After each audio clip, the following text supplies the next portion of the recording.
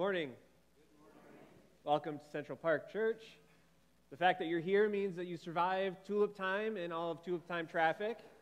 And if you're not here, I'm not sure what that means if you did. But it's good to be together as the people of God. So, we've been going through the story of Jonah for the last number of weeks. And at this point, Jonah is moving from being down inside the fish, and he's actually going to Nineveh to do what God called him to do. And so I thought it was a good reminder for us this morning to think about Genesis 1, verse 27, where it says that God created humanity in his image. So it wasn't just the Israelites that were created in his image, and it wasn't just the Ninevites, but it was both, especially the people that were outside of the fold that God was calling Jonah to. And so that's also true for us, right? Like, and thank God because we aren't Israelites. We would be the outsiders. And so Thanks be to God that He doesn't just call a small group of people, but that He wants to invite all of humanity to be in relationship to Him. And so, with that on our hearts, please stand in body or spirit as we praise and worship.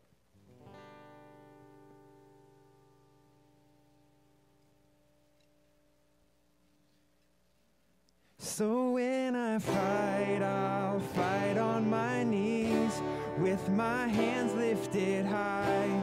Oh God, the battle belongs to you, and every fear I lay at your feet, and I'll sing through the night. Oh God, the battle belongs to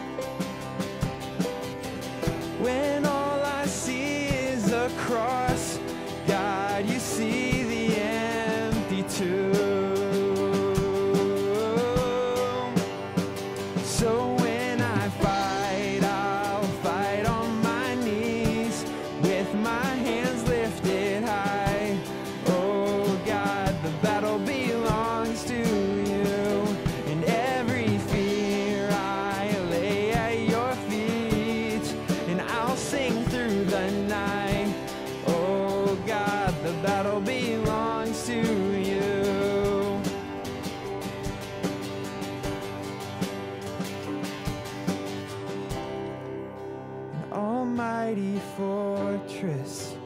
You go before us. Nothing can stand against the power of our God. You shine in the shadows. You win every battle. And nothing can stand against the power of our God. An almighty fortress. Go us. Nothing can stand against the power of our God. You shine in the shadows.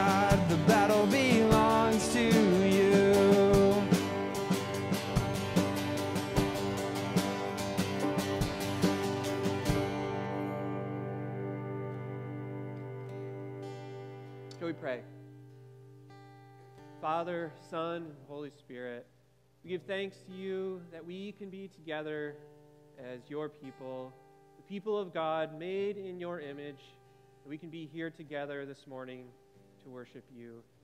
We also give you thanks that we are made in your image, which is predominantly of love, that you are a God of love, and that we can trust in you that you will fight our battles for us, and that we can fight them on our knees by bringing them to you. So please receive this worship as a blessing and honor to you. In your name alone that we pray. Amen. Please remain standing as we continue to sing.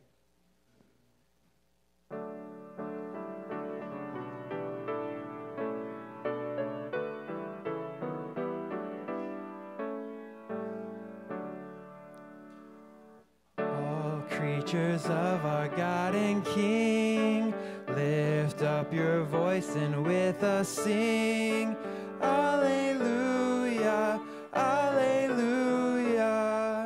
Thou burning sun with golden beam, thou silver moon with softer gleam. Oh, praise him, oh, praise him.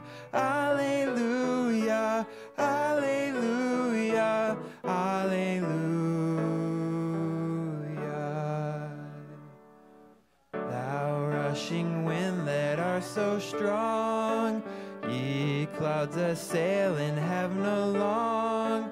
Oh, praise him, Alleluia. Thou rising morning, praise, rejoice. Ye lights of evening, find a voice. Oh, praise him, oh, praise him.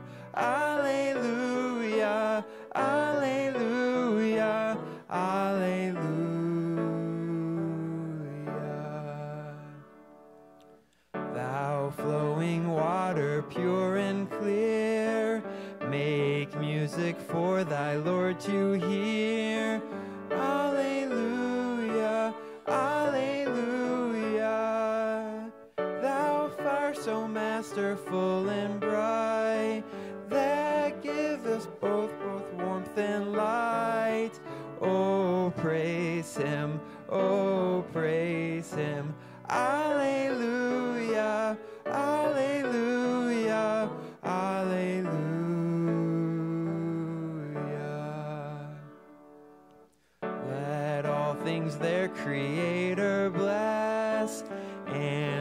Worship Him in humbleness.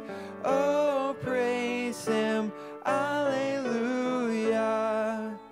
Praise, praise the the Father, praise the Son, and praise the Spirit, three in one. Oh, praise Him, oh, praise Him. Alleluia,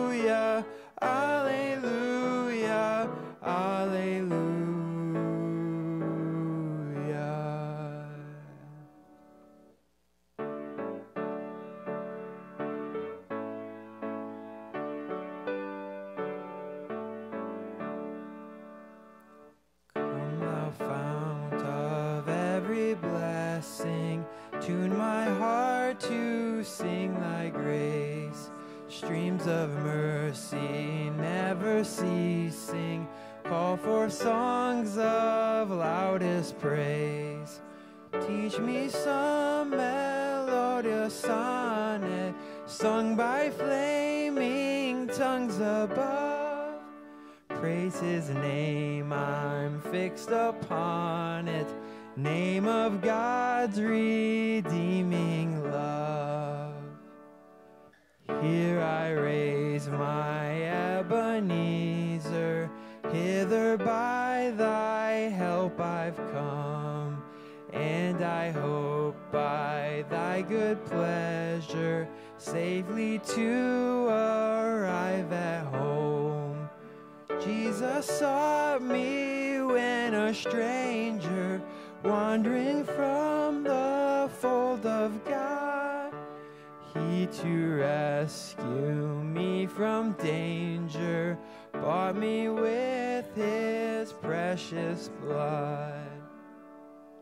Oh, to grace, how great a debtor daily I'm constrained to be.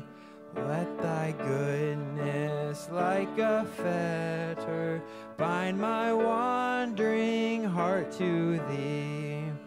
Prone to wander, Lord, I feel it. Prone to leave the God I love.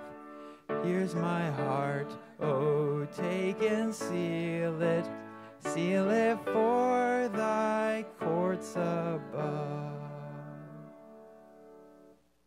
You may be seated. We come together as, to, as the people of God this morning to worship and to praise Him. Thankful for all the good things that He's done in and through and among us. We have many things to celebrate today, to, to be a part of as the people of God. I want to invite you to come back again this afternoon at 2 o'clock. We are having a service uh, along with Holland Classis to commission uh, Max as a commissioned pastor here. And so I just invite you to come and be a part of that, uh, that time of worship and celebration as well. So, 2 o'clock this afternoon. I invite you to come and be a part of that. Um, Memorial Day is coming up, and once again, we're doing a Memorial Day geraniums. If you'd like to give some geraniums in memory of those who have passed on, or those of your family you just simply like to honor, the envelopes are in the back. Uh, next Sunday is going to be the last day to turn those in if you'd like to make a donation for that. Uh, Vacation Bible School is coming up. It is going to be June 20 through 23 in the evenings. And uh, the, the board is out there looking for volunteers in a variety of uh, roles and tasks for VBS this year. We've got most of our leader folks in place, but we need all those helpers in a variety of ways as well. And so, also, we are looking for kids to, uh, to register and be a part of Vacation Bible School. Um, so, just as a way of inviting you to uh, invite others, I'm passing around a basket that has uh, little cards in it that are you can hand off to a neighbor or to a friend inviting them to, uh, to register for Vacation Bible School. So I'll start this one over here. So you pass it back. You can think of someone that you might, uh, um, might uh, be able to invite uh, to be a part of that, please, uh, please do so. Let's get the word out uh, to people that we know that might want to be part of VBS this, this season. one of the things that we have, oh, next Sunday is our, our annual spring congregational meeting. Uh, we sent out uh, an agenda by email this week. There's some copies on the, uh, the tables in the entryway with all the nominees on it for elders and deacons. we've got a few other things to talk about this year, so rather than doing it in the worship service, we're moving it to the gathering place right after the worship service. So next Sunday, plan a little bit longer time of coming together. We'll, we'll break so that you can, can get a cup of coffee and cookies, and we'll sit over in the gathering place and we'll do our. Um, our selecting of elders and deacons uh, for the new year, and then also we will have some conversation about finances and ministry and all those kinds of things as well. So I invite you to be part of that next Sunday morning uh, when we come together. Um, one of the things that we had uh, have been working on over the past uh, year has been to kind of write down who it is that we are, kind of describe ourselves as a congregation, uh, put those things in writing in a way that enables us to live more fully into that. Uh, the more we to know about, um, the more we know about who God has created us to be, the better able we are to, to live that out in our community. And so the mission that God has given to us is, is that of crossing boundaries in Jesus' love um, to meet needs, build relationships, and grow disciples. To cross boundaries in Jesus' love to meet needs, build relationships, and grow disciples. Everything that we do here is uh, an extension of doing that within this particular community. And uh, I want to start over these next couple of weeks to share with you the values uh, that we see as a congregation, the things that we feel as we come together as the people of God. Uh, and one of the things, one of our values is to be Christ centered. That Jesus Christ is the very center of everything that we're doing. There's a lot of reasons for which you might gather a crowd of people together. They could come together around a speaker, they could come together around certain kind of music. Uh, people could come together because they enjoy a certain kind of event. Uh, but we come together because we, we know and love Jesus Christ, and we want Him to be the very center of everything that we do. So, um, one of our values, the core values, that everything is Christ centered. A second value that we have as a congregation is that is the value of family. And not just families, you know, extended families or families that have been here for many generations, even though we have a, a long history uh, in this community and we have families that, that go all the way back. Uh, we think of family as, a, as coming together as a family of God. And uh, we want to be a, a, group of people that, that celebrates sort of the, the intergenerational connections that we have uh, together as God's people. And so we, uh, when we worship together, we do things for one another in worship. And we have different kinds of music that we blend together because we're a family that comes together and we want to be able to celebrate the things that, uh, that are helpful to everyone. And one of the things that, uh, we're sort of making a transition here, one of the things we want to celebrate for one particular part of our, of our community of faith today is uh, to celebrate our graduates from high school and college. We've had a, a number of students that have completed that uh, part of their uh, education. And uh, this morning we're going to recognize them and celebrate uh, what God has been doing in their lives. So, Max, if you would introduce our graduates and, and lead us through that part. All right. So they will be up on the screen here, and I'll invite them up in a minute as well. Uh, my name is Max. Uh, I'm the director of Next Gen, which means high school students. When I got here uh, three and a half years ago, uh, these now seniors were freshmen. We've done it. We've come all the way through, and I love these kids. These, I shouldn't say kids, I love these students. I love these young adults they're growing up. It's, it's incredible. Uh, so today we're going to celebrate those, those high schoolers, and we're going to celebrate also those who, who went through college. So if you are here, would you come up on the stage? We can. I'm not going to make you talk. Don't worry, but like just in a line. Everyone can see your like pictures is cool, but to see you in person is awesome. We uh we have had a lot of students come through here. What's up, guys? I'm going to come down so you can see them. Everyone here up on stage right now has been involved in, in a number of different things youth groups, mission trips. We went to Haiti uh, the first summer I was here. We went to Loveland last summer. We're, we're looking forward to Nashville this summer, and we've had them in different capacities on different trips, and it's just been incredible to get to know these students. And so, you guys, you did it. Congratulations. I have a book for you. Uh, I'll give it to you after service. This book, I'll hold it up so you guys can see it. This book is called I Guess I Haven't Learned That Yet. Uh, this, this author decided before COVID that her family was going to make the move from the Midwest to New York City. And then the pandemic hit. And so she was just in for a whole bunch of changes. And what happened, uh, the title, I'll tell you where it came from. Uh, her, her, her sons were in school, and that transition from the suburbs to the city, and they would come home from school frustrated, feeling like they're, they're failing, that, that they're no good. Everything that they've learned has been uh, lost maybe in this transition. And they came up with this mantra I guess I haven't learned that yet you learned a lot of things in school. You think you know answers to things, uh, but life is, is still coming, right? You're, you're entering into a new season. And so I guess my encouragement is to remember this mantra and, and the stories from this book. I guess I haven't learned that yet. Be, uh, be okay with failing, being okay with learning new things. And, and it's not failing, right? It's, it's saying, I guess I haven't learned that. And taking every opportunity as a chance to, to grow, to recognize strengths, discover who you are apart from family. But as your family here, we, we, we want to make a promise to you. We've done that in various ways, whether it's baptism, uh, either a, as a covenant when you were born, or maybe a baptism later in life, or when you stand up for a, a, a profession of faith. We, as your church family, promise to be here, to support you. That just because you're, you're moving on to the next season doesn't mean uh, we're going away. So our doors are open. We love you. We pray for you. I would like to invite Pastor Kevin to come up and pray for our graduates. And if anyone would like to come up and lay a hand or, or stay where you are and extend a hand, you may do that as well. Can we have some people come up and lay on some hands? Let's, let's, get, let's get physical here a little bit. There we go. Yeah, come on up. Oh, yeah, well, let's do that while they're coming up. Yes, round of applause would be great.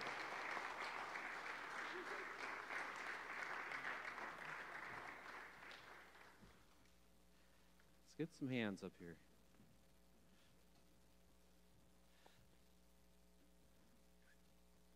Now, if the rest of you want to extend a hand this direction, that'd be wonderful. Two hands. Let's pray. Lord God, uh, we give you thanks for the way in which, as a body of believers, we can celebrate um, the connections that we have together. I want to thank you for these students and for how you have worked in their lives. You have shaped them, you have molded them, you have taught them, and they have learned some things about uh, from education and about life that enable them to take another step. Some from high school, from community college, from uh, uh, four-year colleges. Lord, you're enabling them to move on in uh, in life and and in responsibilities. I want to give you thanks for what you're doing in their lives. I give you thanks for, for parents who have come alongside of them, who have nurtured them, who have cared for them, who have trained them, and have modeled for them what it looks like to live the Christian life. Just give you thanks for all those connections and for all those ways in which they're going to continue to, to carry out that task. Pray that you give to parents uh, the wisdom to shift to that next, uh, uh, that next relationship, the next way of living and walking as people, as these students make the shift from high school to college or to work or from, from college to, uh, to the job. And we pray that in each of those areas of responsibility that parents might be able to, to make those shifts that are necessary. And then we just thank you that as a body of believers, we can continue to lift them up in prayer. We pray that as they feel hands uh, laid upon their shoulders at this place and time, that they might know that, uh, that the prayers of this body continue to go with them. That as they go off to college this fall or step into a job, that they are a part of a community of faith that continues to lift them up and prays for them to be um, servants of yours in all the places where they go and all the things that they do. We thank you that we walk together as your people in each and every area of life and we pray that we might honor and glorify you with who we are and all that we do. So, Lord, would you bless these students, give them what they are in need of. Um, we celebrate with them, and we just thank you for your blessing upon them. In Jesus' name we pray. Amen. Amen. All right. Thank you.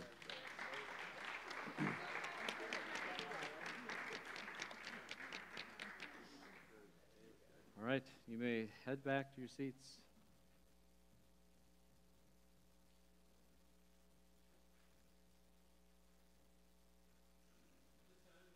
This time, while they're headed back to their spots, I want to invite you to take just a moment to greet those who've come uh, to worship around you this morning. There is coffee in the uh, in the entryway if you'd like to grab a cup of coffee, and then in three and a half minutes we'll uh, be listening to the Word of God. So, oh, kids uh, headed off to Central Park Kids. Now is the time if you would uh, make your way there.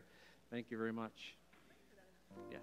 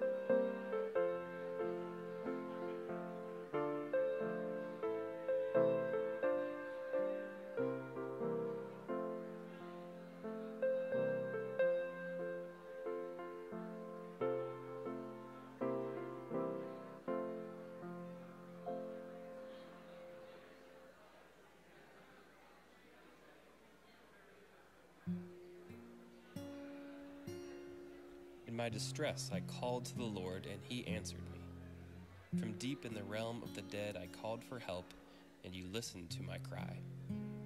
You hurled me into the depths, into the very heart of the seas, and the currents swirled about me. All your waves and breakers swept over me. The engulfing waters threatened me, the deep surrounded me. But you, Lord my God, brought my life up from the pit.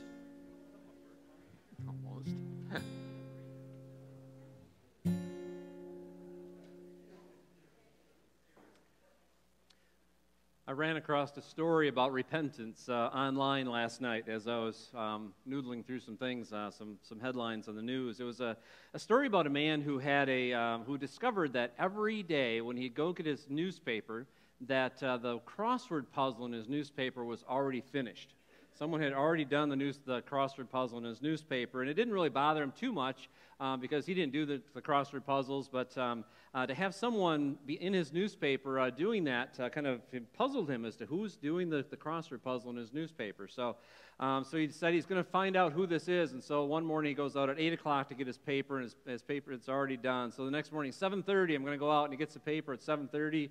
Yep, it's already done at that point in time. 7 o'clock the next morning he goes up. Yep, it's already done. So another day he puts a camera out by his mailbox because he wants to see who's doing it, and it is his neighbor. His neighbor is in his 80s. He's a widower, and uh, out, just as it's getting light outside, he goes out to uh, get the paper out of the mailbox, and uh, he puts the newspaper up on the mailbox and does the crossword puzzle in about 10 minutes, and he's constantly looking at the house to make sure no one's coming out. Folds it back up and puts it back in the uh, back in the mailbox.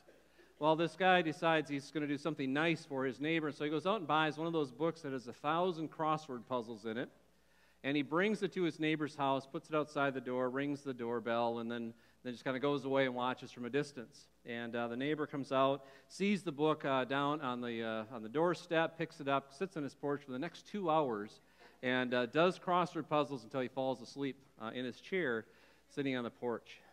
Uh, the next afternoon, when this guy comes home from work, um, the neighbor comes over with a plate of cookies and apologizes. He knows that he's been found out, and uh, he apologizes for opening up the neighbor's paper and reading the, or and uh, working the crossword puzzles in it, and uh, begins a relationship, a connection between them, and uh, they have many, many more conversations about. Uh, about, about life and about crossword puzzles and those kinds of things. Um, this man, older gentleman, had an opportunity to repent, um, and he did so in the midst of the grace that was given to him. But it raises the question for us, and it's a question that comes from the book of Jonah about our repentance and how do, how do we repent in those times when we have been doing something wrong? When there's a time when we are in our conversation or our life with someone else, we discover that we are wrong about uh, how we treated someone or things that we said or what we did. And when we are confronted with the fact that we are wrong or that the thing that we did was hurtful, um, how do we respond? Do we quickly and humbly say, I'm so sorry, I was wrong? Or do we double down on the thing that we were doing and say, no, I was right and you're wrong? Or do we give one of those, you know, fake apologies, you know, where we say, I'm sorry that you felt that way about something that I may have said or done, you know, one of those politician kind of uh, apologies that we read from time to time. How do we repent with others when uh, we discover that we've done something wrong that's hurt them? Or how do we repent toward God? When God, by His Spirit, begins to lay something on our heart that's telling us, you know, this particular aspect of our life hasn't been quite right. Maybe there's a TV show or movie that we've been watching that just has some content that we probably shouldn't be taking in, and the Spirit begins to convict us. Do we repent, or do we just say, no, I'm just going to go on and do what I want to do? Or, or perhaps there's something with our finances that, or how we're paying our taxes that we discover isn't quite right, and do we how do we repent? Do we repent? And when God begins to convict us that there's something in our lives, do we double down and continue to do what we're doing? Do we offer a humble apology, a humble repentance before God? This passage of Scripture, chapter 3 from the book of Jonah, is a story about repentance, about a people who repent uh, before God when they are presented with the fact that God is concerned about how they are living their lives. In fact, uh, God's message to them is that they are going to be overthrown, overturned because of what's been happening in their community, because of their violence. He sends a messenger to them. And we know that Jonah has really struggled with being able to go and tell them this message, but God has a message, and he's not giving up on Jonah being his messenger. So when we come to Jonah chapter 3, we discover that Jonah is finally uh, cornered by God, ready to be obedient to God because God is pushing him, and he's ready to go to Nineveh with God's message. Listen to what takes place. It says, Then the word of the Lord came to Jonah a second time Go to the great city of Nineveh and proclaim to it the message I give you. Jonah obeyed the word of the Lord and went to Nineveh.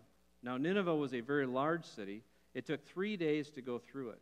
Jonah began by going a day's journey into the city, proclaiming 40 more days and Nineveh will be overthrown. The Ninevites believed God. A fast was proclaimed, and all of them, from the greatest to the least, put on sackcloth. When Jonah's warning reached the king of Nineveh, he rose from his throne, took off his royal robes, covered himself with sackcloth, and sat down in the dust. This is the proclamation he issued in Nineveh. By decree of the king and his nobles, do not let people or animals, herds or flocks taste anything. Do not let them eat or drink, but let people and animals be covered with sackcloth. Let everyone call urgently on God. Let them give up their evil ways and their violence. Who knows, God may yet relent and turn and with compassion turn from his fierce anger so that we will not perish. When God saw what they did and how they turned from their evil ways, he relented and did not bring on them the destruction he had threatened. So the Ninevites repent humbly before God. In fact, we look carefully at the story of the Ninevites here, we discover that this is a textbook case of repentance in Nineveh. Uh, everything that they do is uh, uh, describes a, a perfect repentance from their particular point in time. Notice all the parts and pieces of how they repent. I'm assuming that as Jonah goes to talk to them, he's on his way to Nineveh. He's thinking about what's happened. And, and if Jonah is anything like me, I'm sure he's assuming that these pagans, these heathen that God has a message, message for, are not going to respond very well. He's probably imagining that as he goes into the city, he's going to begin to tell, to tell God's message, and people are going to ridicule him. People are going to maybe throw tomatoes at him. Maybe they're going to try to push him out of the city. They're not going to want to hear what he has to say. Or maybe they'll listen to what he has to say, but no one, or maybe only a few people, will respond. Probably feeling it's pointless to, to tell these people who don't know God that God is angry with them and God is going to overthrow their city. And so Jonah is probably very surprised when, when he begins to go into the city of Nineveh and begins to share the message of God that the word begins to spread ahead of him that not only do the people hear what he has to say, but they begin to listen in such a way that they're, they're sharing it with their friends and neighbors, that it becomes a message that takes on a life of its own, and it begins to spread all the way through the city. And people begin to react to it with textbook kinds of repentance for their time and place. It says that they begin to fast. They put aside their food for the day and say, you know what? Something is going on here that we need to take care of that's more important than us eating. And so they, they begin to fast. They take off their nice clothes and they put on their sackcloth, uh, their clothes of mourning, and they begin to mourn before God. And notice that it says, all of them for the greatest to the least. All of them from the greatest to the least did this. Now, so often in, in a society or in a culture, you've got this division between the, the rich and the poor, between the masters and the slaves, the powerful and the powerless, and, and everyone likes to blame everyone else for the troubles that are there. And many, many times it might be the ordinary folks who feel the burden of these things and say, Yes, we need some change and transformation in our society. And I wish those people you know, that are in power would listen, or the people in power say, you oh, know, we need to make some changes, and, and you people, you need to do these things. But in this particular case, it is everyone, from the greatest to the least, are convicted by the message that begins to be shared among them, and they begin to act. Notice that finally the word comes to the king. It's not a king directed action, it's a, it's a word that finally comes to the king. The people are beginning to do this already. And notice the things that the king does. Very interesting progression. It says, The king of Nineveh rose from his throne. His throne is the place where the king is, or the ruler of the city is, when he's giving, you know, when he's showing his authority, that he's in power and in control. So for him to rise from his throne means that he is yielding the seat of authority to this God that is saying to them that their ways are not right. It says he takes off his royal clothes, his royal robes, a sign of his authority and of his wealth, sets those aside, instead puts on sackcloth. the clothing, the wrap that's the same as everyone else in his city. He says, I am just as guilty as everyone else. We all look the same in this. And then he sits down in the dust. He sits in the dust. Notice the, he gets off his throne, takes off his robe, puts on sackcloth, and sits in the dust. He's moved himself to being one among the people that needs to repent before God. And then he issues a decree. Decree goes out to all the people and again, he's reinforcing the fasting, but notice he takes it not just the people, but also the animals. And just think about that for a moment. For, for animals to be fasting, of course, animals don't understand uh, what is going on, but what's going to happen in a few hours if the animals are not being given food or water? The cows are going to begin to bellow, the, uh, the sheep are going to begin to, to call out. All of those animals are going to begin to howl and make their noises. Um, I grew up on a farm, and I know the sound that all of the, all of the pigs would make when they were hungry, and we'd come into the building, and they knew that they were going to get fed. It was quite a din that they would make, and that's the kind of noise that would be rising up before God. It became a part of the call of this people into the presence of God. The king tells them, Let everyone call urgently on God. Everyone earnestly, everyone from their heart, call upon God and ask for something to change.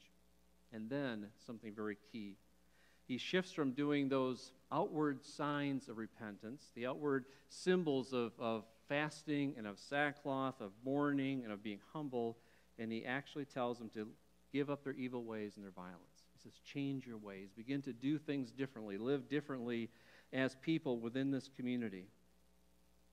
And then he shows a real humility before God. He says, Who knows? God may yet relent and with compassion turn from his fierce anger so that we will not perish. Notice that he's being very humble before God. He's not saying, you know what, if, if we do these things, if we offer certain sacrifices, or if we, um, if we repent in a certain way, or if we stop doing these things, we know for sure that God will not overthrow us. He says, maybe, perhaps, maybe God is compassionate. Maybe God will relent from what it was that he was going to do. He is very humble before God allows God to be in control. And so they've done their textbook case of repentance. They've done all of the things they possibly can. They've gone over the top in doing those things. And then notice what God sees. He says, When God saw what they did and how they turned from their evil ways, He saw their acts of repentance the sackcloth, the ashes, the, the, uh, the, the fasting, but then He also saw that they turned from their evil ways. He saw the change in what they're doing. I don't think even, just the, the actions of, re, of repentance, going through the rituals of repentance, probably alone would not have been enough for God. But he saw that they turned from their evil ways, and then he relented. It did not bring disaster on them. God responds with compassion because they have come to him in repentance. They are humble before God.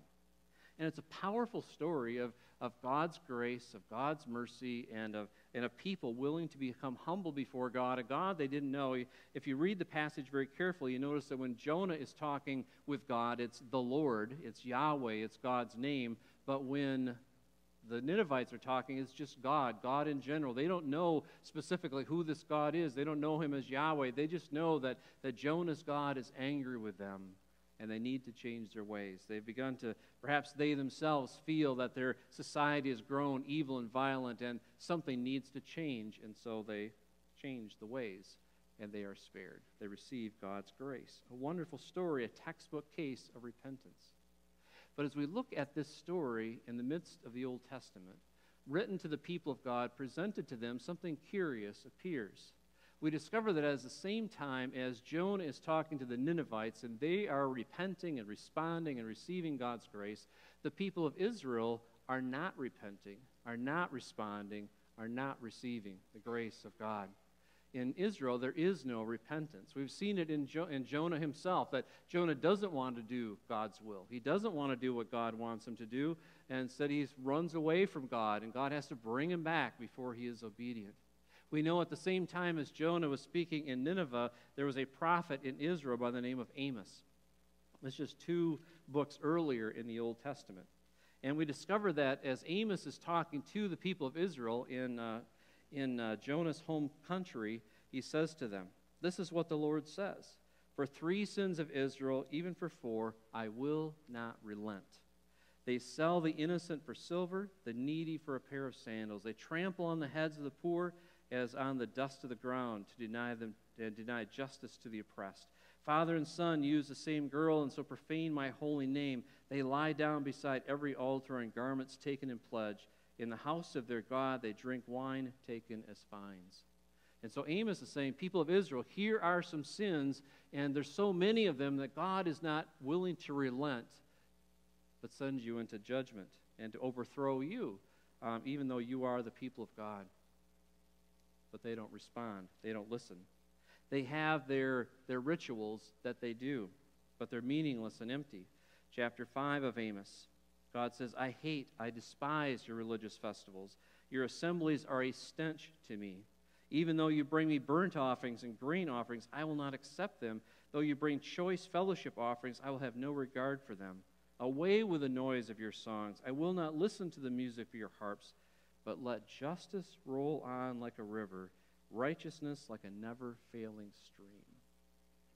So the people of Israel are going through the motions of worshiping God, doing all the prescribed things that they need to do in the temple, but it's not affecting their hearts at all, and they're certainly not changing their actions. There is no justice, there is no righteousness among them. And so the worship that they're doing, the rituals that they're part of, God's not even paying attention to.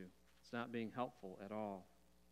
We go a little further in the book of Amos, and we discover that the king is not leading them in following God either. There's um, another prophet that uh, is beholden to King Jeroboam, and uh, he speaks to Amos on the king's behalf.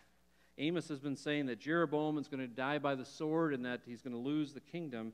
And uh, Amaziah the prophet says to, to Amos, Get out, you seer. Go back to the land of Judah. Earn your bread there, and do not be prophesying here. Don't prophesy anymore at Bethel because this is the king's sanctuary and the temple of the kingdom. Notice that in those words that that false prophet speaks, you're saying that the king is more important than their sanctuary. The kingdom belongs to the king, and the king is going to decide what needs to happen, and the king is not willing to repent, even though God has come to him again and again and said, Things are not right in Israel. There's a lack of justice. You're oppressing the poor. There's idol worship that's going on. But then, even then, they will not respond to God. So, why is it that the people of God who should know the grace and the mercy of God, should know the compassion of God, won't listen, won't respond, won't repent? in a situation like that.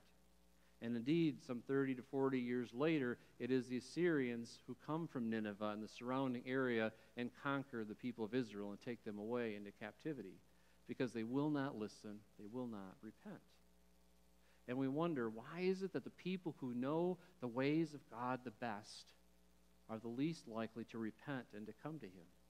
Jesus found the same thing to be true in his ministry. The leaders of the people, the Pharisees, the scribes, the Sadducees, those were the, the priests, those who were the, the leaders of the people who knew the scriptures, who knew the prophecies, refused to recognize him as the Messiah. They didn't recognize him as the one who was coming. In fact, they said Jesus is a dangerous man. Uh, we, they tried to trip him up in the things he was saying. They insisted that they, he give them some kind of a sign that would prove that, that he was from God, but they never would accept the signs, the miracles that he did. In fact, they took it so far that they would put him to death. But the ordinary people in Jesus' day, the ordinary folk, the sinful folk, would listen to him. They loved to hear his words, and they experienced his grace and mercy. There's a tax collector by the name of Zacchaeus that wanted to see Jesus. Jesus comes to where he is and invites him to come down to meet with him, and Jesus I'm coming to your house. He sits down to eat with him, and then this is what happens. It says, All the people saw this and began to mutter, He's gone to be the guest of a sinner. But Zacchaeus stood up and said to the Lord, Look, Lord, here and now I'll give half of my possessions to the poor, and if I've cheated anybody out of anything, I'll pay back four times the amount. Jesus said to him, Today salvation has come to this house, because this man too is a son of Abraham. For the Son of Man came to seek and to save the lost. So this tax collector experiences the good news in the person of Jesus. and he responds. He welcomes Jesus into his life. And there's a transformation that goes on there. Instead of being a, a cheat and a scoundrel, which every tax collector was, he says, I'm going to take half of my money and I'm going to give it away. And the other half I'm going to use to repay all the people that I've cheated throughout my life. There's a transformation in his life because he's encountered Jesus. So, someone that no one would have expected to repent repents and receives salvation. But the very people that should have known the best to look for Jesus, to welcome the Messiah, are the ones who put him to death. Why is it that that continues to happen? That those who should experience most fully the grace of God are those who hold him at arm's length, but others receive and welcome the grace and forgiveness he gives. The wonderful thing in this passage is that it tells us that our God is a God who relents. In the prophet Isaiah, in the prophet Amos, he says again and again, uh, "For these three sins and for four, I will not relent. I will not give up." But yet we see again and again throughout the Old Testament that when God brings judgment on His people and they turn and come back to Him, He relents again and again because he is indeed a God of compassion. He's a God of grace, a God who wants people to be restored and he wants them to be whole. And so, the good news for us, for the people of Nineveh, for Zacchaeus, and for anyone who respond to God is that he is a God who is compassionate and gracious. And though we need to be humble before him, we know that that is his nature. Peter, in his second letter, says that uh, God is, is, is patient. God doesn't want anyone to perish, but wants everyone to come to a knowledge of the truth. Our God is a God who relents. And so that brings us back to our repentance, our invitation to repent. So we need to think about that.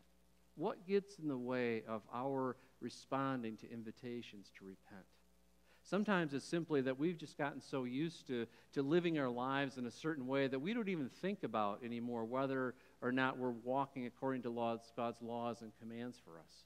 That we don't even think about what does God consider to be right or wrong in our attitudes or actions or how we're going about life. We're just doing life as we do life. And if there's a little something that, that seems like it might not quite be right according to this passage of Scripture or that uh, sort of standard for, for the people of God, we just kind of pass that off. Say, well, I'm just not going to think about that. We've just gotten used to doing our own thing, and so we want to continue doing our own thing. Or perhaps we compare ourselves with others we look at others around us and we say, you know what, I'm, I may not be perfect, but I'm better than, than those people, or I'm better than that pe- person is. I'm, I'm better than those people in our culture that are doing those kinds of things. And so therefore, I'm, I'm pretty good. You know, I, I come to church, I, I read my Bible, I give, I'm, I'm doing sort of the Christian things, so, so I'm, I'm doing all right compared to everyone else in the world. And so we don't repent. We don't come honestly before God with the things going on in our lives. Or maybe, maybe we just feel entitled to God's compassion, God's grace for us. We know that in Christ, God has opened up the way for sins to be forgiven. So we just count on our sins being forgiven. We just sort of assume that they're, they're all taken care of. Once in a while, maybe offer up a, you know, forgive me for my sins, God. But God wants us to come before Him and just ask, is, what is there in my life that may need to change? I don't want to be like the, the people of Israel or like the leaders in Jesus' day um, who would hold him at arm's length because we think that we've got it all right. Instead, to be people who come humbly before God and say, God, what is it that you want to do in my life? That as we read Scripture or as we worship together, that we would have hearts where we're listening to God and say, God, would you show us ways and places where we need to repent? Or there might be something within us in, a, in an attitude or an action or a relationship with a person that we need to, to make right. And would you let us know what that is? And then we respond with humble obedience. Not necessarily putting uh, sackcloth and on our, on our animals and sitting in ashes, but to, to change our way of life and to come humbly before God because our God is a God who relents. Our God is a God who, who opens up his heart to his people, and he wants us to walk with him in fullness and in holiness. But he invites us to come into his presence as people who, who ask, God, if there's something in me, something in my way of life that isn't right, would you show me what it is? And so as you walk through this week, seek to have that kind of an attitude in your relationship with God. in the conversations that you have with one another or in your reading of His Word or in your prayer. Say, God, whatever it is that may need to change within me, would you point it out to me? Because I want to walk fully and completely as your person. I want to experience your grace completely and fully and be able to share it with the world that I'm a part of. Let's pray.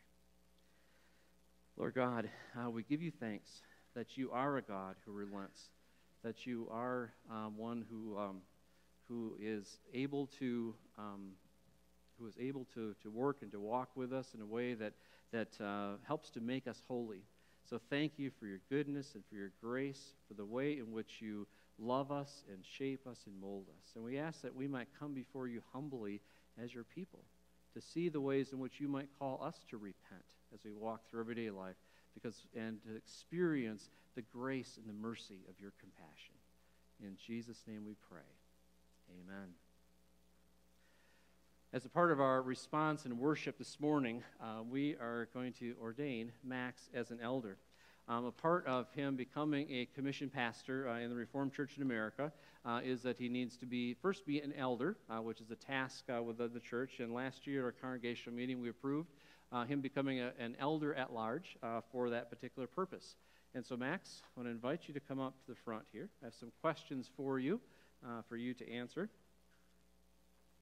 and then we shall continue on with the, uh, the order for, uh, for ordaining you. So, so, Max, do you confess uh, together with us and with the church throughout the ages your faith in one God as Father, Son, and Holy Spirit?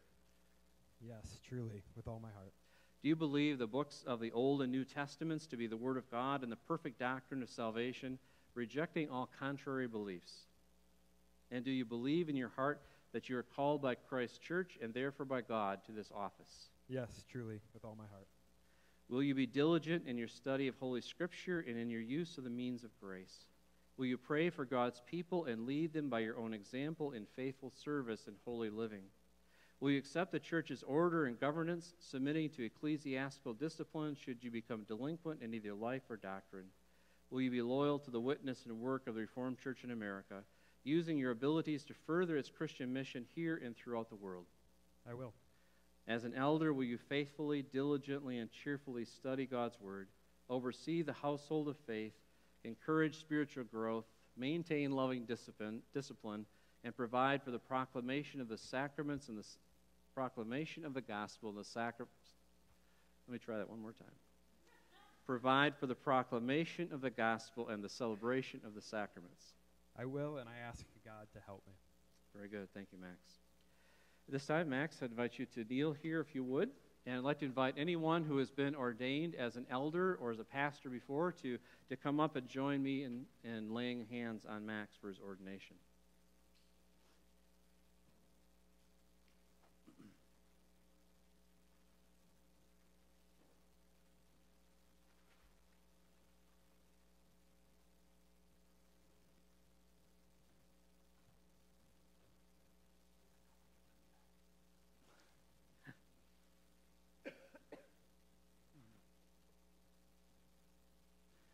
There's two little pieces to the, uh, the ordination words. The first part is a prayer that ends with amen, and then the declaration. So stay in your spots until both parts are done. Let us pray. God of grace, pour out your Holy Spirit, gentle as a dove, burning as fire, upon Max Blummer, and fill him with grace and power for the ministry of elder. In the name of the Father, and of the Son, and of the Holy Spirit. Amen. In the name of the Lord Jesus Christ, the only head of the church, I declare that Max Blummer is now ordained to the office of elder. Amen. All right, you may stand.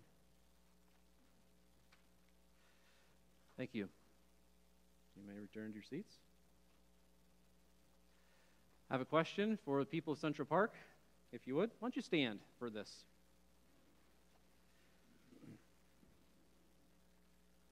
People of Central Park, do you receive in the name of the Lord this elder as an ordained servant of Christ? Do you promise to respect him for the sake of the office for which he has been ordained?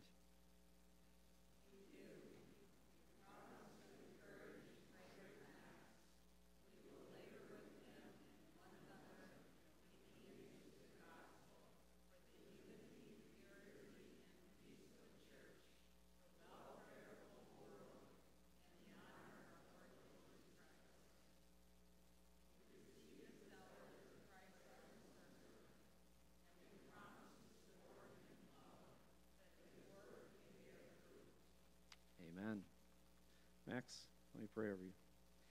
Lord God, I want to give you thanks uh, for what you are doing in Max's life. I uh, thank you for the way in which you have enabled him over the past couple of years uh, to grow in knowledge and in experience uh, within this body of believers, enabling him uh, to come to this spot where today we're going to be commissioning him as a commissioned pastor in this church within Holland Classis. I thank you for the gifts that you've given him that enable him to to take on the role of elder uh, in this place. And I thank you for this body that has done that work in this day. I ask that as we work and walk together, that we might honor and glorify you uh, with all that we do and all that we are. And may your blessing be upon Max and his family. May experience your presence and your grace and your love to carry out the role that has been laid upon him. In Jesus' name we pray. Amen. Let's continue to stand as we sing. Uh, this is Amazing Grace.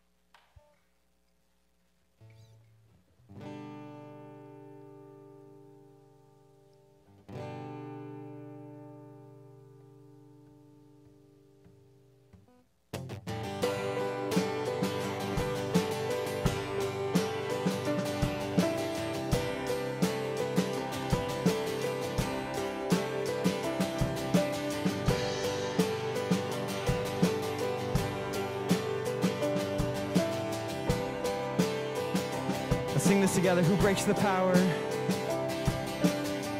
Who breaks the power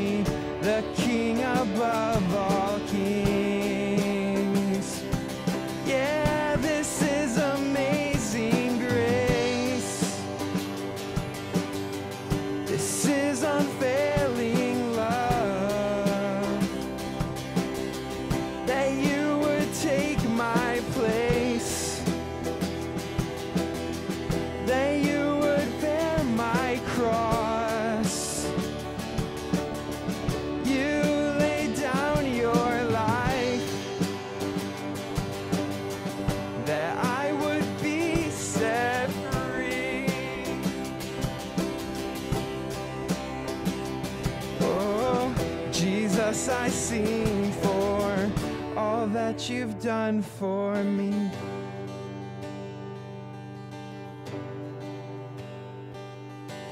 Worthy is the Lamb who was slain. Worthy is the King who conquered the grave. Worthy is the Lamb who was slain.